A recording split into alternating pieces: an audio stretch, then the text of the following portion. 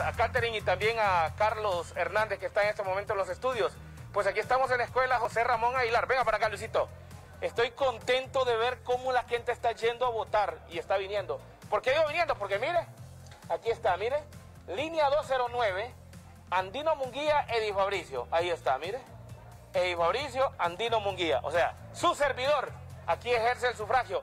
Pero lo que me llama la atención a mí es ver los adultos mayores. Y voy a hablar con esta señora acá, esta bella dama. Mire, un ejemplo para aquellos que están durmiendo ahorita echando la hueva. Salgan, cumplan con su deber.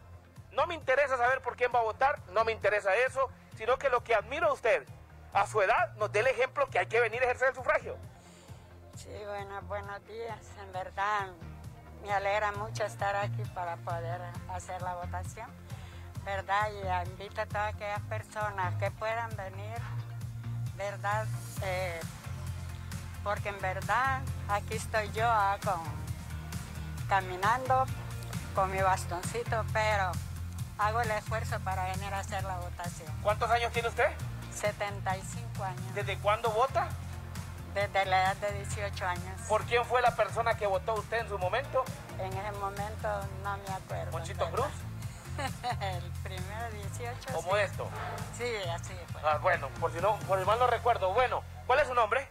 Argentina Ramírez. Miren qué mensaje nos da doña Argentina. Pero acá, mire otra imagen, ¿ves? Mire, no hay dificultad que valga. Ya está digno de admirar. Este caballero que ha venido en su silla de ruedas y ha venido acá. Amigo, este es el digno ejemplo de democracia. Hay que venir. ¿Cuál es su nombre? Kevin Cruz. Don Kevin, aquí en la colonia Montefresco usted ha venido para ejercer el derecho al voto. Así es. Sí. Invite a la gente, a aquellos que están en casa, que dicen, no, me da igual. No le tiene que dar igual. No, la verdad que este es un momento donde tenemos que elegir Sí. Y como hijos de Dios tenemos que buscar la voluntad. Dice Romanos 12, 2 dice, la voluntad de Dios es buena, agradable y perfecta. Y en Romanos 13, 1 y 2 dice que toda autoridad es puesta por Dios. Amén. Así que ejerzamos nuestro, nuestro cumplimiento, nuestro deber es votar. Y que Dios, los planes de Dios son perfectos. ¿Su nombre? Kevin Cruz. Muchas gracias, don Kevin. Por acá nos movemos, miren, los adultos mayores. Ahora sí, voy para la línea 209 con mi amigo Luisito Herrera. Voy a buscar la línea 209 acá. Voy a preguntarle al secretario, buenas, la línea 209, ¿dónde es? ¿Aquí o allá? A ver si me ayudan. A mí me toca, a mí me toca votar aquí, en la línea. Aquí hay dos urnas. Sí, ¿cuál es la urna? Está la urna número 04120 y la urna número ¿Y 04119. cómo hacemos? Porque ahí decía línea 209, ¿no me fijé? Sí. Aquí, en la que estaba aquí. Entonces, en esa pared está la urna 04119, entonces toca verificar sus datos Aquí está. en el sistema donde está caballero. ¿Tengo que pasar ahí con él? Correcto. Mire, don Oscar, bueno, mire, don Oscar me trae aquí, mira el proceso. Sí, don Edi Fabricio Andino Munguía con su tarjeta de identidad nueva, vota en este lugar, el dedo índice. Cualquiera de los dedos, vamos a ver ahí, ahí está. Mi huella, mire la huella, no me la lee. Vamos a ver. Ahí está. Búsqueda del elector. Ahí está. Ahí aparece Edi Fabricio Andino Munguía. Mire la imagen. El procedimiento. ¿Dónde vota Edi? Allá. ¿Tengo que pasar aquella línea? Bueno, ah, tengo que hacer la fila y esperar. Y como todo buen ciudadano, mire, voy a esperar a hacer la fila para ejercer mi derecho al voto. Que en vivo lo estamos haciendo. El derecho al voto de don Edi Fabricio Andino Munguía. Ya pasó ahí. Ah, Me dice el caballero que pase. Y yo voy con el mayor de los gustos. A la dama le entrego. Usted, aquí usted debe entregarle mi cédula. Ahí está, ahí aparezco, ya me buscaron. Y aparezco en la línea 209, dice ahí. Para que busquen a Edi Fabricio Andino Munguía. Y va a aparecer allí a donde está habilitado. Ahí está. Venga aquí, Luisito. Muéstrele. Mire, ahí está Edi Fabricio Andino Munguía. Línea 209, mi cédula nueva y lo demás. Y yo voy a ejercer mi derecho. Mi derecho como ciudadano. Porque aquí es donde se demuestran. ¿Ahora qué tengo que hacer? ¿Firmar algún lado? ¿No? Esperar que me entreguen el procedimiento. Bueno, voy a esperar que me entreguen el procedimiento. Acá. Y lo demás.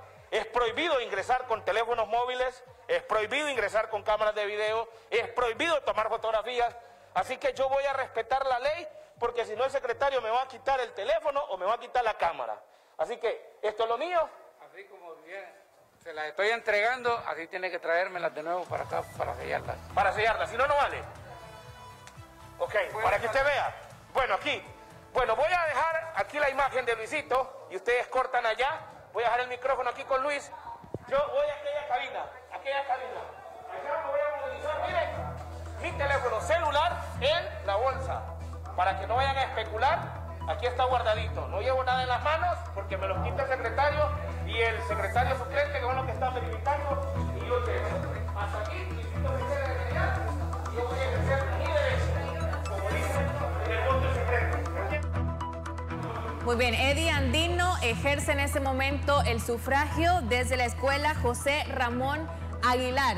Es- vimos eh, paso a paso cómo se está llevando a cabo el sistema biométrico, tomando en cuenta que es prohibido utilizar el teléfono móvil. Y aclarar que si el sistema biométrico no detecta al votante a través del listado, si aparece en el listado, el ciudadano puede ejercer el sufragio y no puede llevar eh, para tomar una fotografía y justificar que votó por determinado eh, candidato, el teléfono debe dejarlo en la junta receptora o en la mesa que se tiene ahí con, con la- con los que están representantes de cada uno de los partidos políticos. Claro, ahí estamos viendo cómo el periodista de Canal 6 está ejerciendo el sufragio Eddie Andino desde la escuela José Ramón Aguilar en la colonia Monte Fresco. Hizo todos los pasos a cabalidad como cada uno de nosotros lo vamos a realizar. Recuerde que son más de 5 millones de personas que hoy van a ejercer el sufragio y que es importante que usted salga de manera